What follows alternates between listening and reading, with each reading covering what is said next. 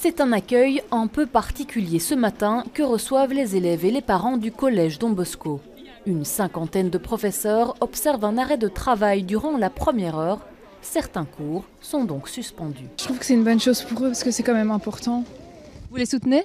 Oui. En tant que travailleur, euh, ma bataille c'est la même qu'eux, donc euh, je suis tout à fait d'accord. Je soutiens à fond, oui, tous les profs, tous mes profs de primaire d'ailleurs.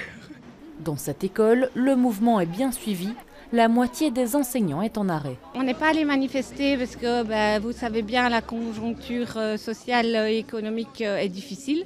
Donc on a décidé euh, cette fois-ci de faire un arrêt de travail et on est en soutien avec les collègues qui sont en train de manifester à Bruxelles aujourd'hui. Il y a un certain nombre de professeurs qui sont en classe et qui regrettent, qui étaient partagés, qui auraient bien voulu se joindre à nous, mais finalement voilà, ils, ils ont préféré continuer à donner cours aujourd'hui exceptionnellement. C'était compliqué de prendre la décision pour eux, mais euh, sinon c'est perçu de manière très positive par les élèves, par les parents. Maternelle, primaire et secondaire, tous les niveaux sont réunis.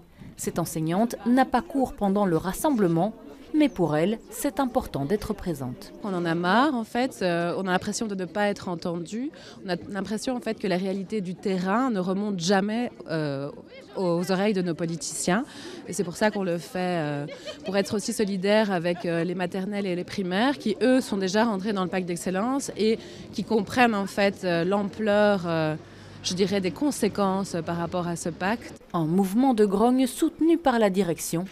Les cours ont repris normalement dès la fin de l'action.